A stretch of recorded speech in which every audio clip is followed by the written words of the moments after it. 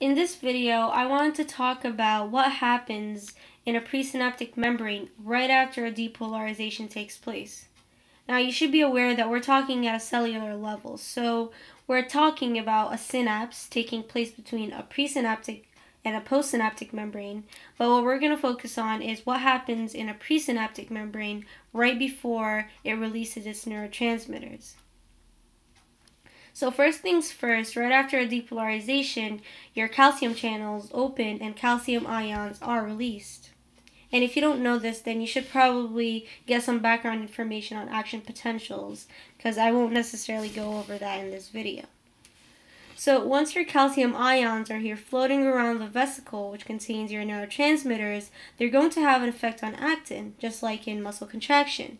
So what actin is going to do is essentially it will pull pull this vesicle toward this presynaptic membrane and it will line up the FPMs, which are fusion protein macromolecules. And those FPMs are basically responsible for fusing this vesicle into the presynaptic membrane, which we're going to see in a little bit. So what happens is those FPMs, they open up the vesicle, just like here, and this vesicle is now able to release its neurotransmitters into the synaptic cleft.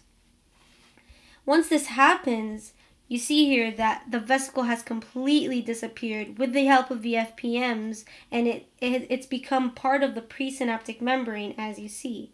And now your neurotransmitters are binding to the receptors or floating around in the synaptic cleft doing whatever they do, at this point, your vesicle is completely part of the presynaptic membrane.